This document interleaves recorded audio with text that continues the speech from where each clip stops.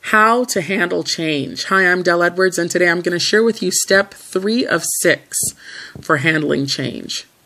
Accurately assess the situation.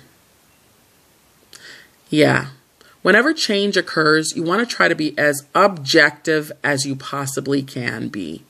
Now, a lot of times people go into a state of panic or they have emotions that run high when change occurs. And that is not the time to try and evaluate your circumstance, your situation. Your point of view is going to be skewed. When change occurs, you need to be able to look at the change from different angles, different perspectives, different sides. You need to be able to accurately assess your situation, your circumstance. And you can only do that if you're able to do it objectively. You can only be accurate if you're objective. All right? So try to write things down. If this change is hard for you to accept, write it down.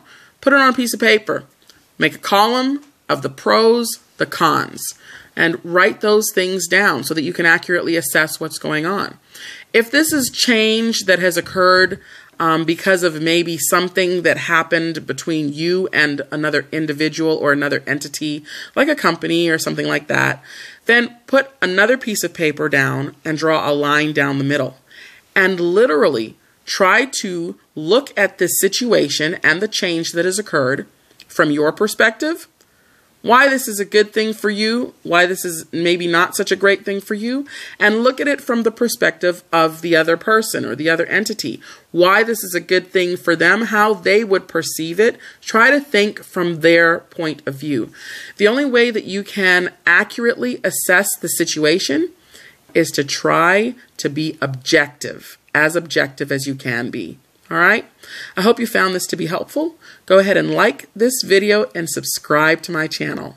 Until next time.